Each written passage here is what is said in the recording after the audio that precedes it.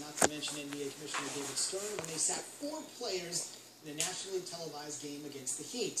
This evening, the teams met again, and despite just holding a two-game edge over the Spurs in the race for home court advantage throughout the NBA playoffs, Erik Spoelstra sacked LeBron James, Dwyane Wade, and Mario Chalmers. Spoelstra's defense, he said it was all injury related, there they are, out of the lineup. The only member of the big three that was in there was Chris Bosh. He feeds Ray Allen, beautifully done. Heat up by six, got to get scoring somewhere. Allen at 14 off the bench. No Manu Ginobili, no problem. Tony Parker's healthy.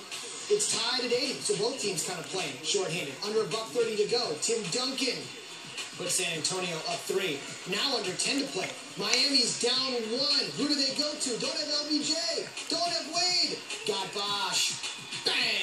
With 1.1 to go, it puts Miami up a point.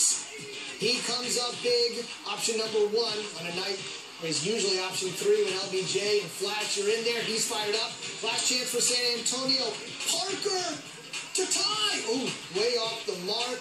And the Heat take it 88-86 in thrilling fashion in San Antonio.